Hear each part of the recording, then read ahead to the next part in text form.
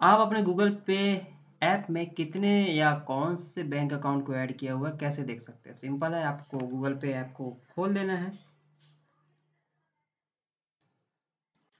अब पहली बार खोल रहे होंगे तो आपसे पिन मांग रहा होगा, जो आपने पिन बनाया होगा, उसको एंटर करना है। एंटर करने के बाद आप गूगल पे के इस तरह से पेज को देख लेंगे।